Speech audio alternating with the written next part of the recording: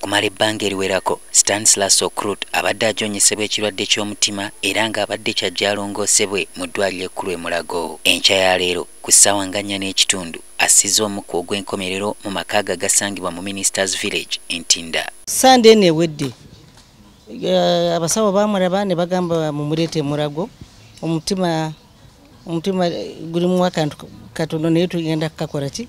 Kagenda kubeera bulungi kati netumutwalayo kusande mande nebamukolako olwokusatu nebagamba mudeyo katali talina nsonga.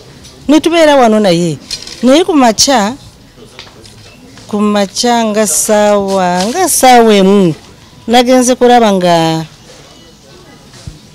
yagambye mami waliwo ekinduma wano webansaze ocrut era nga yabadde bba wa mary carol minisita w'ekikula ky'abantu y'omu ku bantu abaasooka okulya obwami mu gavumenti ya nrm nga kyegyetuule mu buyinza mu mwaka gwa 1986 yaliko minisita w'abakozi ow'abavubuka n'emizannyo ko n'ebyentambula nga kyajja atandika ebyobufuzi mu kitundu ky'etteeso gy'azaalwa w'ameruka y'abayeekera. Era pulezidenti museveni yamusindikayo n'abakulembeze abalala okuteesa nabo wabula ne bawambibwa n'abamu ne battibwa mary carol atutegeezezza nti obulamu bw'omugenzi okuva lwe yawona obuwambe bwakyukira ddala. Naye teyafa pulezidenti museveni nampa esente nemutwala nemujanjaba erande naye okuva olwo teyaddamu kubeera mu mbeera ze za bulijjo kubanga kyeyayitamu kyali kibi nnyo. Wadde ng'embeera ebadde bweti tekimulobedde kuba musajja ayagala abalala omwesimbu era omuzadde alise ku nsi abaana munaana.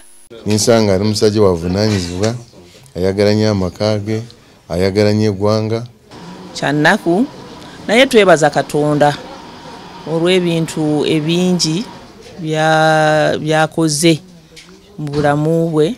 Tulidde naye ate nga tusaamu ekitiibwa naffe nga tumusaamu ekitiibwa. Kigambibwa nti omugenzi yagaana okutwalibwa mu paalamenti abantu okumukubako eriisa evvannyuma omulambo gw'omugenzi gukyali mu ddwaliro ekkulu emulago era ng'ebyokuziika biri mu nteekateeka solomon kaweesa ntv ku ssaawa emu